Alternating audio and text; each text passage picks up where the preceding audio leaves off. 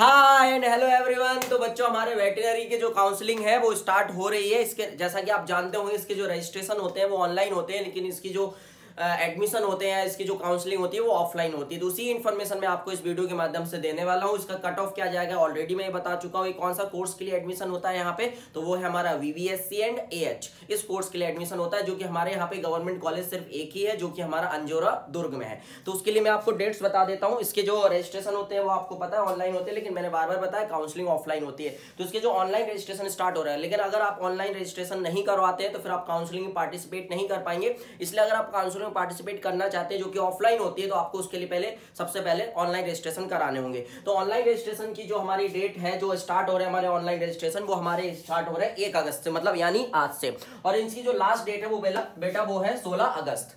आज से लेके 16 अगस्त तक। कौन सी वेबसाइट पे होगा तो मैं आपको बता देता हूँ, यहाँ पे वो है हमारी C G K B M I S dot C G dot N I C dot I N इस वेबसाइट पर, ठीक है? इस वेबसाइट पर होंगे, है ना? और जो हमारे रजिस्टर्ड जो भी कैंडिडेट यहाँ पे रजिस्टर्ड कराएँगे, उनकी जो मेरिट लिस्ट आएगी, वो ट्वेंटी फ़र्स्ट अगस्त को आएगी। इसमें करेक्शन विंडो भी ओपन होगा, जो कि आपका 21 अगस्त से लेकर 23 अगस्त के बीच में होगा। उसके बाद फिर एक फाइनल लिस्ट आएगी आपकी, क्योंकि आपने जो यहाँ पे जो करेक्शन किया हो, उसके आधार पर आपकी एक लिस्ट और बनेगी, जो कि अपलोड होगी इनकी वेबसाइट पर। वो होगी अट्ठाईस अगस्त को। उसके बाद आपके इस आधार पर, जिन बच्चों ने रजिस्ट्रेशन कराया, उनके लिए जो ऑफलाइन काउंसलिंग कंडक्ट होगी, जो कि कॉलेज में ही होगी, सुबह दस बजे से, वो आपकी स्टार्ट होगी।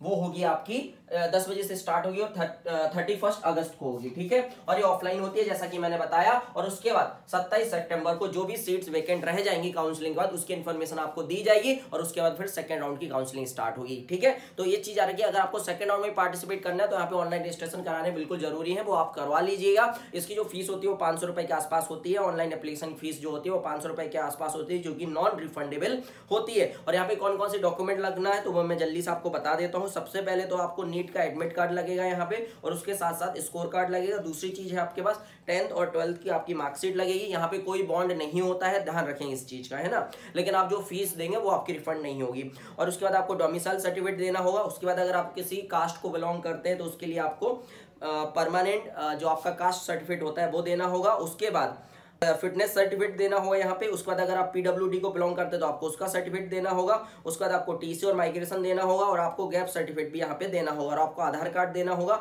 और बैंक की जो आपकी पासबुक है, उसकी आपको तीन फोटोकॉपी देनी होगी, और तीन पासपोर्ट साइज़ फ़ोटो भी देनी होगी। इसकी जो फ़ीस है, अगर आप हॉस्टल में नहीं रहना चाहते तो वो है तेईस हज़ार और आपको कॉलेज मिल जाता है इस डेट को तो आपको ये देना होगा उनको, आप कैश भी दे सकते हैं।